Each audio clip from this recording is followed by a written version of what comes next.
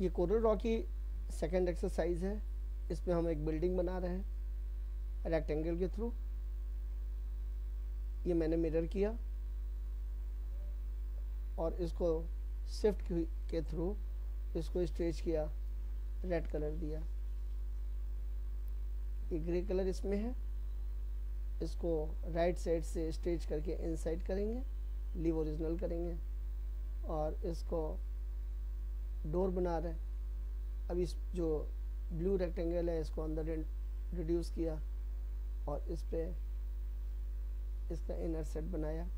इसको फिर कंडेंस किया और इसको ब्लू सेट बनाया। ये हमारा डोर इस बिल्डिंग का रेडी हो गया। इसको ड्रैग करके इधर लाए विंडो बनाने के लिए और इसको नीचे से शॉर्ट किया। ब्लू रेक्टेंगल को लेकर के उसको स्टेज किया और स्टेज सराउंडिंग इसका जो स्पेस है, उस स्पेस के अकॉर्डिंग हमने स्टेज कर लिया। ये हमारा एक फ्लैट का एक फ्लोर तैयार हो गया। इस टोटल को सेलेक्ट ऑल करके इसको ड्रैग किया कंट्रोल आर करके रिपीट किया। अब जो ऊपर वाला फ्लैट है, उसके ग्रे सेट को हमने कंडेंस किया और उसकी एक कॉपी हमने राइट साइड किया। रिपीट बटन दबा के। उस पर मैंने एक टेक्सचर डाला और वो टेक्सचर F11 करने से वो टेक्सचर सेट आ जाता है। उस टेक्सचर को हमने अप्लाई करके उसको नीचे स्टेज कर लिया। चूँकि लास्ट ऑब्जेक्ट सबसे ऊपर आता है, इसलिए उसको सेलेक्ट करके शिफ्ट पेज डाउन करने से वो ऑब्जेक्ट पीछे चला गया। तो जो हमारा टेक्सचर पड़ा था वो पीछे चला गया।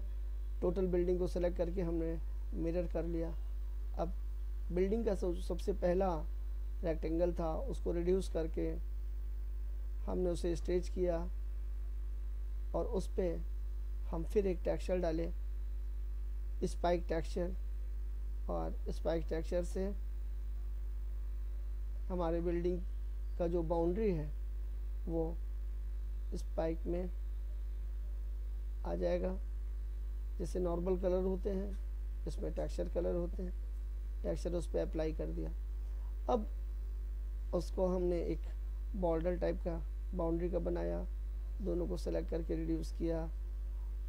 साइड्स में लेफ़्ट साइड और इसको पैरेललोग्राम करके एरो बॉक्स से ऊपर स्टेज करके शिफ्ट पेज डाउन कर दिया। थोड़ा सा ब्लैक कलर ऐड कर दिया। इसको मिरर किया और मिरर से इसको मैं राइट साइड लेके आया। राइट साइड आने के बाद इसको शिफ्ट पेज डाउन करके उसको बैक कर दिया।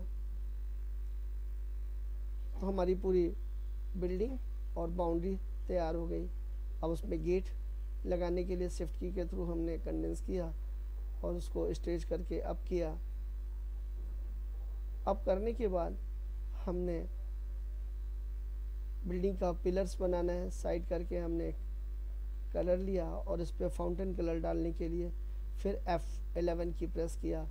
F11 की प्रेस करके हम लेफ़्ट साइड और राइट साइड में इसका सेट ऑन कर लेते हैं और ये सेट हमारा ब्लू हो गया और बीच में लाइट इफ़ेक्ट डालने के लिए वाइट कलर अप्लाई करेंगे तो जिससे एक हमारा पिलर का लुक आ जाएगा। इसको ओके किया और ये पिलर की तरह लुक आ गया। इसको अपोजिट किया। इसको थोड़ा सा स्टेज कर दिया।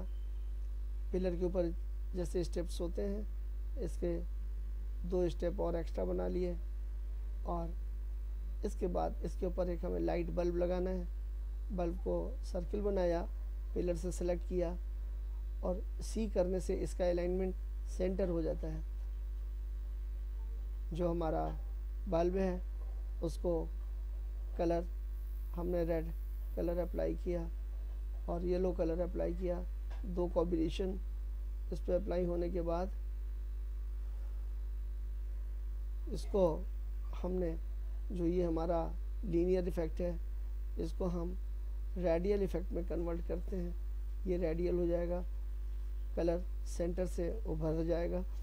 उसको ओके करेंगे और इस पर अब एक आउटर ग्लो इफ़ेक्ट लगाएँगे, जो हमारे ब्लैंड टूल में की प्लेट में होता है आउटर ग्लो और ये आउटर ग्लो को हमने अप्लाई किया और थोड़ा सा अंदर सर्किल के स्टेज किया तो वो हमारा आउटर ग्लो कलर निकल आता है. अब कलर का जो लाइट है, वो ब्लैक तो होता नहीं है, उसके लिए उसको वहाँ पे रेड करते हैं और रेड या येलो का एक लाइट करते हैं जिससे वो ग्लो हो जाता है. इसको सेलेक्ट करके हम इस पूरे सेट को ड्रैग करके राइट साइड ला के रख देते हैं। अब इस गेट को पूरा कंप्लीट करना है। गेट को राइट साइड से स्ट्रेच किया लीव ओरिजिनल किया माउस के राइट बटन को दबा करके इसको फिर एक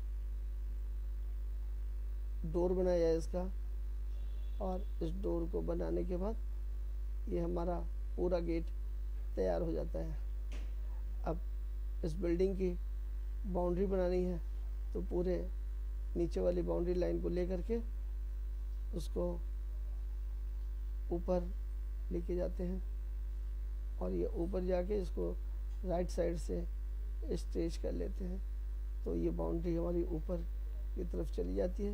इसका हाइट थोड़ा सा कम कर देते हैं, उसको नीचे लाते हैं और इसके हाइट को थोड़ा ऐसे कर देते हैं। लेफ़्ट साइड स्ट्रेच कर देते हैं।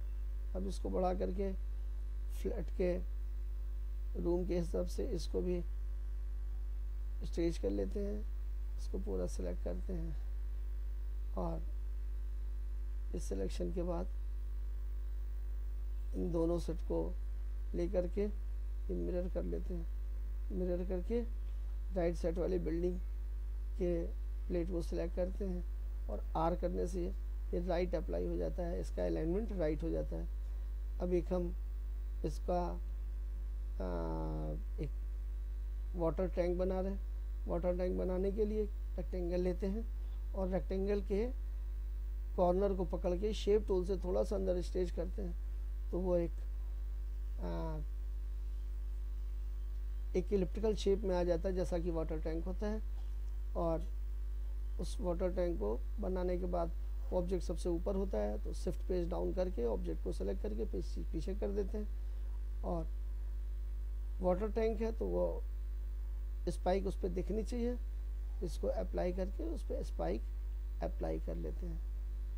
और टोटल सेट को एक साथ सेलेक्ट करते हैं और हमारा पूरा फ्लैट तैयार हो जा रहा है।